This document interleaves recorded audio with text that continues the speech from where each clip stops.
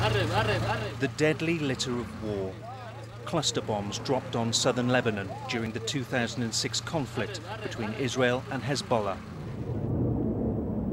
Cluster bombs dropped from the air or fired from the ground explode and scatter small and potentially lethal bomblets over a wide area.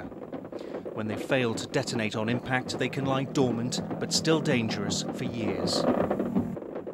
Charities say most cluster bomb victims are civilians, not soldiers. Nearly a third are children. The Convention on Cluster Munitions bans the production, use and transfer of the weapons. It sets deadlines for the destruction of stockpiles and the clearance of contaminated land. It also requires signatories to help cluster bomb survivors. Campaigners say it's the most significant disarmament treaty for more than a decade. It's not very often that you can see uh, campaigners and ordinary people making a real difference. And we've been able to turn what was uh, said to be impossible, banning cluster bombs, only seven years ago, into a reality with this new treaty entering into force.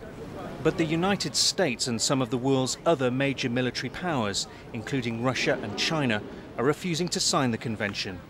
They insist cluster bombs have legitimate military uses.